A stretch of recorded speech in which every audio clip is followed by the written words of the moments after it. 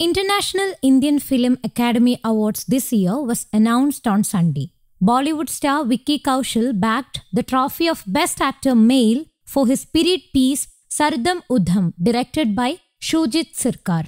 The 34 year old star's joy was pretty evident in a recent post shared by him on his Instagram handle.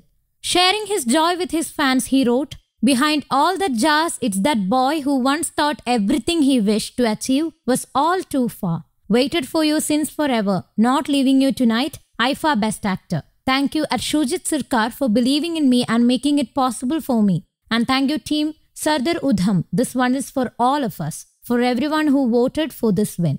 Bollywood diva Kriti Sanon backed the trophy of Best Actor Female for her film Mimi.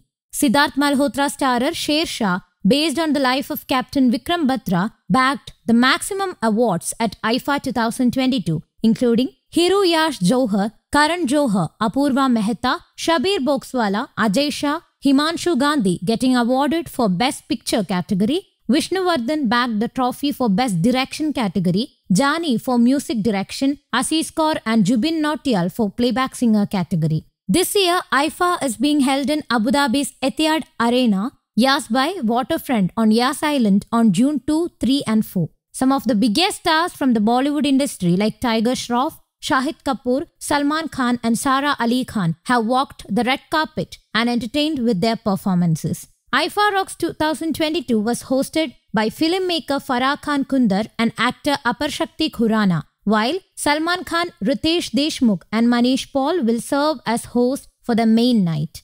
News Desk, Kaumudy Global.